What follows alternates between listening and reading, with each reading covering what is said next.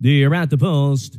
And they're off in the Canada Quarter Horse Cup Futurity. From post one, Jets up goes for the lead. Here comes North Fork Boss in between Noble Rearing. And from the wide outside, Professor G. I'm a dash in to Elsa Timber and Springle Lear far back first. Olaf. It's Noble Rearing and Professor G coming down to the wire. Noble Rearing wins the Canada Quarter Horse Cup Futurity. Second to Professor G. And third, North Fork Boss.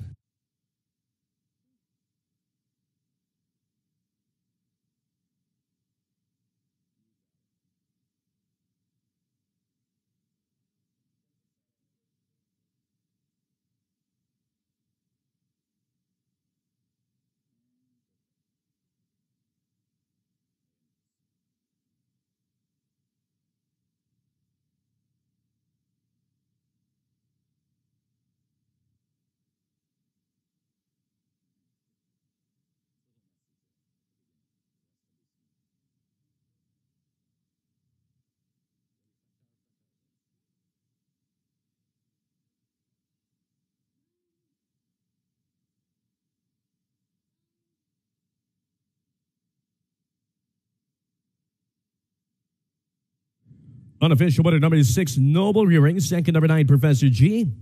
Third, number five, North Fork Boss. And four, I'm a Dash in fourth. Six, nine, five, four in the Canada Quarter Horse Cup Futurity.